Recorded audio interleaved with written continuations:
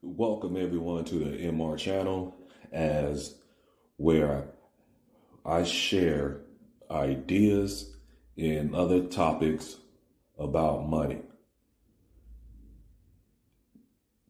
Today I'm going to dive into gold versus the dollar. And I think that is very important to understand the position of gold versus the dollar. And the reason why is because the dollar is becoming more and more worthless. So let's take it back to the basics. In 1971, President Richard Nixon took us off the gold standard.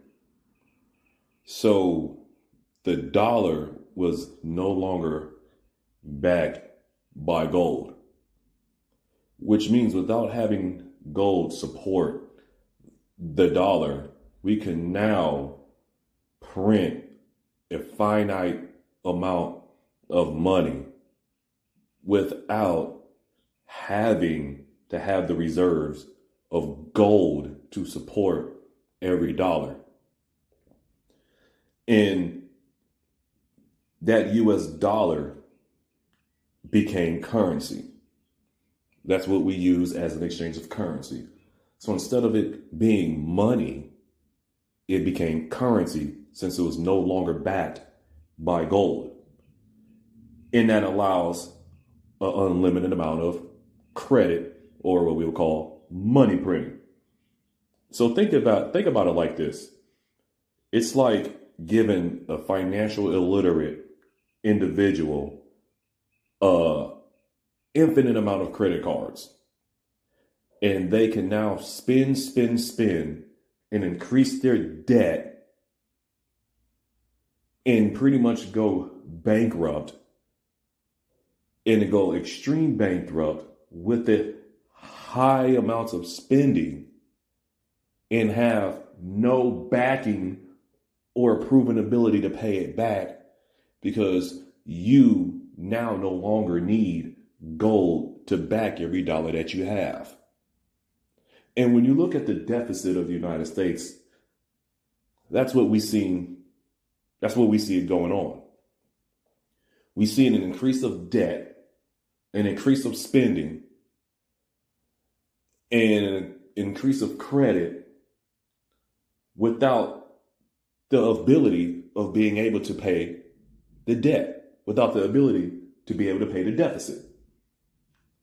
But on the contrary, we continue to hold our gold and buy more gold and not have to worry about giving up any of our gold because our currency, our dollar, is no longer supported by gold. So, for the people that only believe in just saving, save, save, save, or I'm going to save myself the wealth, that so called money gets diluted. And that's what we see going on in the economy and across the world. As we continue to print money or increase the monetary supply, the dollar gets diluted. And the problem is that the government can and will continue to print money, which the value of your money, it will decline. The value of your money goes down. And as the value of the dollar continues to decline, the prices, the prices of things continue to go up.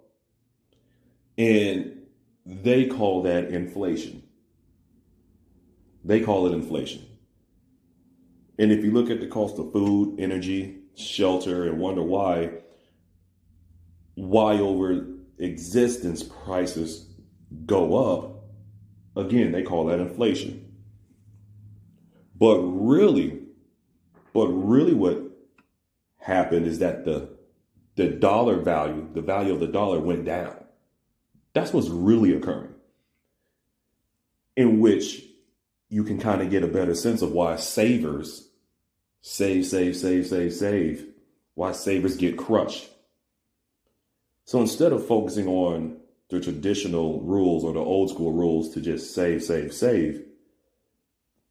The better approach would be is to prepare yourself and to hedge yourself against losses on your money. Now, if you're in stocks and you're into crypto, you understand how it hedging yourself and protecting yourself against losses is, right? We we we we use the term stop loss. So I'm not telling you to not have any money. I'm not saying to not have any specific amount in the in your account, in your bank account at any time. I'm not saying that either. But what I'm saying is to consider hedging your money, for an example, with gold, silver is very affordable, and other assets. So as the dollar continues to lose value, we know that gold and silver goes up in value. There's a lot of historical data of the dollar, and it provides enough data for you to come to the conclusion to not bet against gold or silver, but to bet against the dollar, in which will continue to decline. That dollar will continue to decline. It will continue continue to decline. And the old school method or way, the traditional aspect of saving money, that was effective when we had the dollar backed by gold. But now that money has no gold backing, it shows that money becomes more worthless over time as we continue to print it. And when you look at the US dollar, there's a lot of data that shows that it has lost 80 86% of its purchasing power over the past 50 years. And again, the reason is because when money was made currency, it could now be printed in a at finite amount, right? At unlimited rates, which allows currency value to decline. Or if that's not clear enough, if you look at the Germans, if you look at Argentina, Zimbabwe, if you look at the English, um, their their money went to zero. Their money went to zero. So with savers that only know these old school old school traditional rules to just save, save, save, save, they're going to get wiped out. They're going to be wiped out, especially when you look at the rates of the interest rates that banks are paying, which is little to no interest. So that little to no interest on your savings that's not going to keep up with the uh, unlimited amount of money printing. It damn sure is not going to keep up with the rate of inflation. So saving, again, it's not going to keep up with the unlimited money printing or what we have, what we call inflation. The true definition of inflation is not going to keep up with the expansion of the monetary supply. So understand and learn how to hedge your money.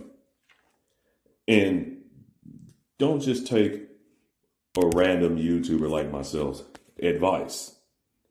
Become financially educated. So, with that said, stay motivated, stay dedicated, and keep hustling. Peace.